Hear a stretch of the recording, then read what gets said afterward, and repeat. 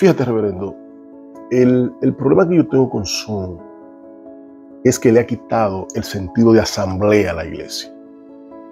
Cuando yo te hablo de asamblea, es el hecho de que estamos llamados a vivir en congregación, porque la palabra dice, donde hay dos o tres reunidos en su nombre, allí estoy yo en medio de ellos. Y alguien puede decir, bueno, pero están reunidos en Zoom. Pero no es lo mismo eh, estar reunido en una plataforma eh, virtual que estar en el calor de, la de lo presencial. El calor de lo presencial produce que se forme una atmósfera espiritual, donde haya, se manifiesten los dones, donde, se, donde esté el calor humano, donde habita el Señor espontáneamente junto con la congregación y, y pueden ministrarse una palabra uno con otro. Yo he conocido personas que han ido conmigo en el vehículo en uso.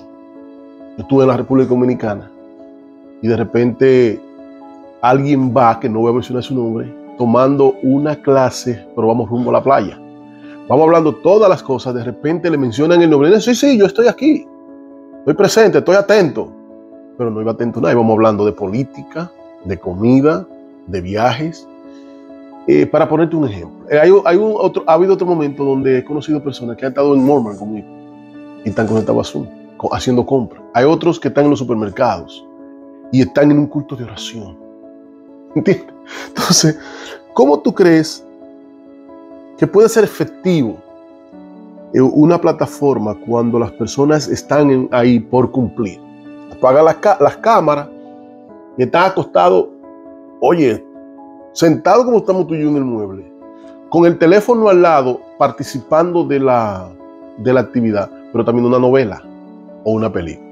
Inmediatamente te mencionan el nombre. Dices, sí, no, no, no, estoy aquí. Estamos atentos lo pone mío y de repente tú sigues viendo tu, película. Es una realidad. Yo no voy a decir que todos tienen ese esa conducta, esos modales, pero es muy, eh, muy normal que esas cosas pasen. De manera que yo entiendo que el Zoom es efectivo cuando hay, hay personas enfermas. Por ejemplo, están en el hospital y necesitan llevarle el servicio, pues ahí puede el Zoom y esas plataformas que existen para transmitir. Eh, puede ser efectivo eh, cuando alguien está en la casa, vaya la redundancia, enfermo o, que no puede asistir, haya un, un problema de climático, una nevada. Vamos a encender el Zoom y o la, o la plataforma y vamos a transmitir el servicio.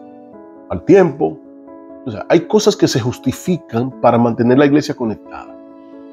Pero e, el servicio que menos recomiendo yo para Zoom es la oración. ¿Por qué? Porque es que la oración tú necesitas o estar en tu aposento solo, tranquilo, orando, o irte al templo a orar, o a un lugar privado a orar, porque por problema de la distracción. Eh, no es que no tenga su efectividad, orar es orar, no, no es que no sirvan, no, no es que pecado, no es que no tiene sentido, no. Pero no tiene la misma efectividad que cuando tú te diriges al templo a orar y tú te tiras de rodillas al, piso, te acuestas en un área, comienza a tirar moco y baba, a llorar y comienza a caminar en el escenario, a orar caminando, conectado y, tiene esa vivencia. No es lo mismo cuando tú vas al templo y dices yo quiero vigilar y te va a las 9 de la noche y, a las 2 de la mañana te para del altar, solo, tranquilo, orando al Señor.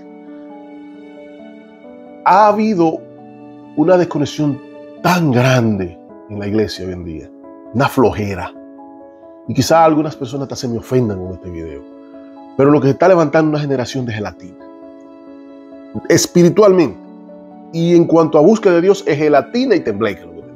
Lo que tembleque, eso es, es la gente no quiere pagar ese precio, lo quiere cómodo, es como, como buscar a Dios por el drive-thru. El drive-thru es donde se pide, donde buscan los alimentos. Tú, tú vas a McDonald's, Burger King, a Wendy, y hay un, tú lo pides por aquí, a los cinco minutos te lo dan ahí.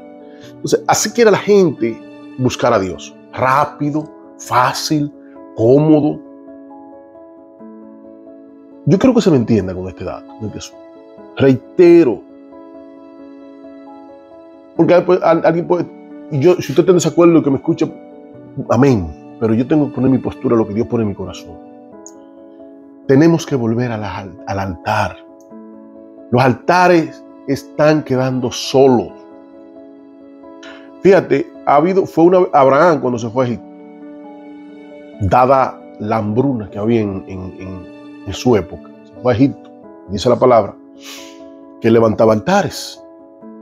Cuando se fue a Egipto, él no pudo trabajar con su altar, él no pudo levantar altar, porque estaba en un escenario donde no se conectaba con el altar. En Egipto no podía sacrificar. Cuando lo deportaron del escenario de Egipto, él dice el texto que él volvió otra vez al Negué y restauró el altar, el cual había abandonado. ¿Tú te imaginas la cantidad de hojas, polvo, agua, la lluvia, el deterioro que tenía ese altar?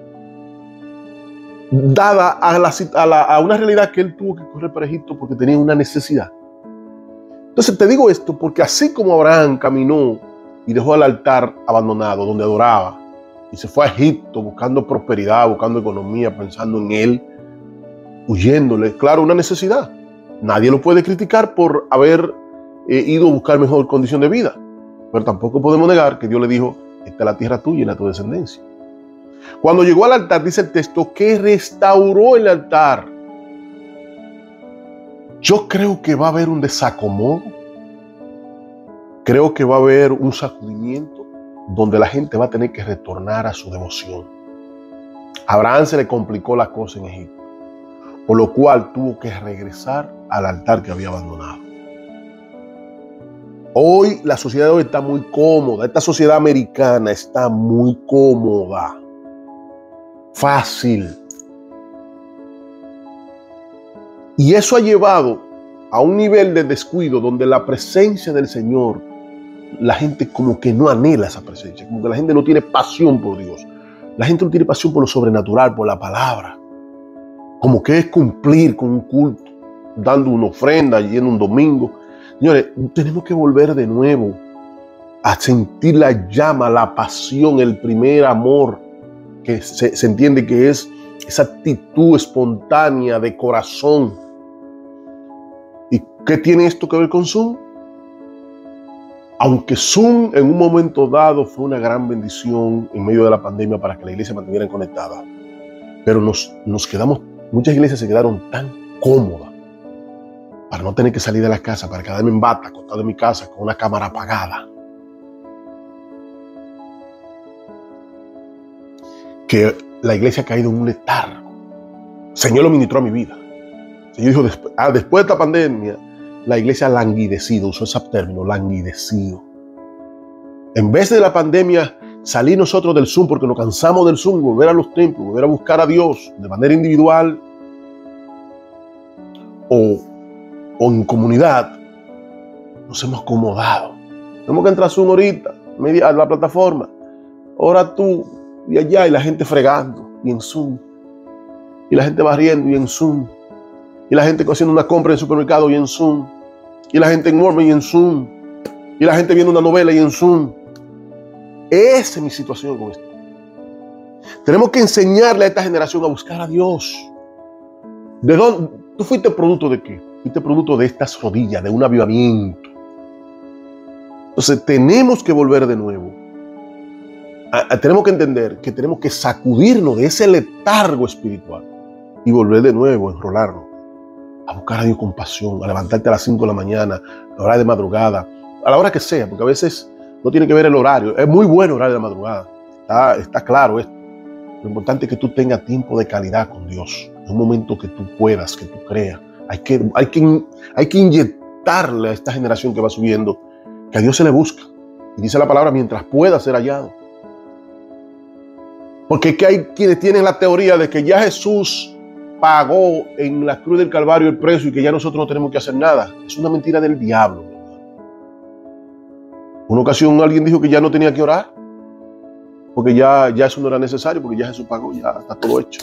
Es una carnalidad, una mentira del diablo y yo le corro. Mire, mi hermano, si tú quieres verme a mí corriéndole a alguien que esté cerca de mí, que, que manifieste un estado de carnalidad tan bajo como ese, que me va a decir que no hay que orar, que buscar a Dios. A mí no me importa mucho un púlpito. predicar y enseñar. Yo tengo casi más de 30 años ministrando. Pero a, mí sí me interesa estar en un escenario donde se ore. Donde yo encuentre refrigerio para mi alma. Donde yo no pase hambre. Tú sabes el hambre que yo pasé. ¿Sabes lo que significa pasar hambre? Pasar hambre significa tú sentarte en una congregación y exponerte a un individuo que no tenga oración. Exponerte a un individuo que solamente tenga libros en la cabeza. Eso es pasar hambre para mí. Pasar hambre es exponerme a una persona que su cabeza esté llena de letras, pero su corazón esté vacío. Pasar hambre para mí es exponerme a alguien que tenga una buena retórica, pero no tenga corazón en lo que me dice. Que me diga dos por dos son cuatro, amén, ¿y qué? Pero cuando me dice dos por dos son cuatro, tres por tres son seis, pero esos seis, y me lo diga de corazón el porqué de cosas. Esto, esta flojera que existe hoy en día en el Evangelio, esta, esta, falta de búsqueda está llevando a la iglesia a un estado peligroso. Porque entonces le estamos abriendo el camino a los demonios, le estamos abriendo el camino a las tinieblas, se la ponemos fácil. Porque cuando hay una iglesia deja de orar, hay una activación muy fuerte del estado de las tinieblas. De modo que no hay problema que se siga usando Zoom y la iglesia lo use y las redes que quieran usar, pero sin descuidar, sin descuidar, como hacía la iglesia primitiva, iba en el templo a orar a las 3 de la tarde. Iban, hacían, tenía, Jesús iba a los montes a orar. Jesús se apartaba con un grupo de personas a orar, tener ese tiempo con Dios. Tenemos volver a orar. Tenemos que volver a darle vida a esto. La iglesia no va a poder haber un rompimiento en la ciudad donde tú estás si tú no eres un hombre de oración. No va a poder haber un avivamiento en ningún escenario si no hay rodillas. Pero con pasión, no por cumplir. Entonces es importante que yo diga esto. Te lo digo como ministro que tú eres. Para, porque puede producir una marca en ti y tú puedes decirlo a otro. Y otro se lo dice a otro. Y yo le digo a las personas que nos están viendo a través de este, este video, que si esta palabra es buena, pues que la compartan con otros para que se edifique. Si usted no está de acuerdo con esto, yo oraré por usted, oraré por mí, pero tenemos que volver a orar, buscar el rostro del Señor. Y deja esa florejera, esa, esa, esa gelatina. La iglesia no está pasando nada por flojo, por la flojera de oración, por la falta de búsqueda, de la consagración de la iglesia.